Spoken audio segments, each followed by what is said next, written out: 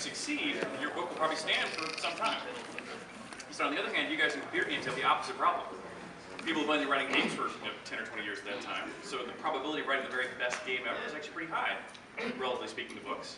Yeah? However, in five years, not only will the art form get better, so most likely somebody will beat you and knock you off that, that pedestal, but more importantly, the technology is changing so rapidly, unlike books, that the ability to even see your art is disappearing.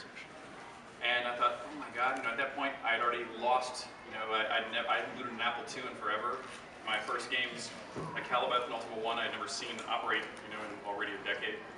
Uh, but right after that talk, I went back and I, I uh, uh, it was right as eBay was getting started, so I, I bought two or three more Apple IIs on eBay for parts. Yeah. And, uh, and I had Oh. to, since there was copy protection on the discs, I had to actually pirate copy my own discs, make backups. And, Okay. now, and now I have a running Apple II, running Akalabeth in my office at all times. Congratulations on Nice. your nerd cred, just doubled.